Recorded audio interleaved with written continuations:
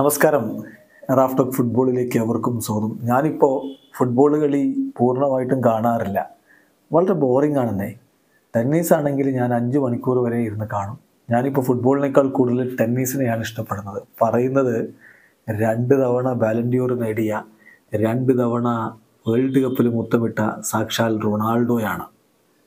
അദ്ദേഹം കഴിഞ്ഞ ദിവസം ഒരു ഗാലറിയിൽ പങ്കെടുത്തുകൊണ്ട് സംസാരിക്കവെയാണ് ഇത്തരത്തിലൊരു പ്രസ്താവന നടത്തിയിരിക്കുന്നത്. നമുക്ക് ആദ്യം റൊണാൾഡോയുടെ വാക്കുകളിലേക്കൊന്ന് പോകാം. റൊണാൾഡോ പറയുന്നു ഞാൻ ടെന്നീസിലെ ടെന്നീസുമായി ബന്ധപ്പെട്ട എല്ലാ കാര്യങ്ങളെയും ഇഷ്ടപ്പെടുന്നു. ഇപ്പോൾ ഫുട്ബോളിനേക്കാൾ കൂടുതൽ ഞാൻ ടെന്നീസിനെ ഇഷ്ടപ്പെടുന്നു.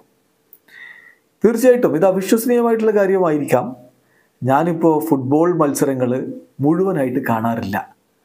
കാരണം അത് വളരെ ബോറിംഗ് ആണ്. അതേസമയം ഒരു അഞ്ച് മണിക്കൂറൊക്കെ ടെന്നീസ് മത്സരങ്ങൾ കാണണമെന്ന് പറഞ്ഞാലും അതെന്നെ കൊണ്ട് പറ്റും. കാരണം അത് വളരെ ഇൻട്രസ്റ്റിംഗ് ആയിട്ടുള്ള ഗെയിമാണ് ഇതാണ് റൊണാൾഡോ പറഞ്ഞിരിക്കുന്നത്.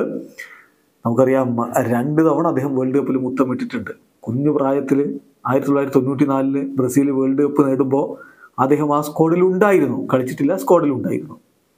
പിന്നെ തൊണ്ണൂറ്റെട്ട് വേൾഡ് കപ്പിന്റെ ഫൈനൽ കളിച്ചു. രണ്ടായിരത്തി രണ്ട് വേൾഡ് കപ്പിൽ തനിക്ക് നഷ്ടപ്പെട്ടതെല്ലാം തിരികെ പിടിച്ചുകൊണ്ട് അദ്ദേഹം വേൾഡ് കപ്പിൽ മുത്തമിട്ടു.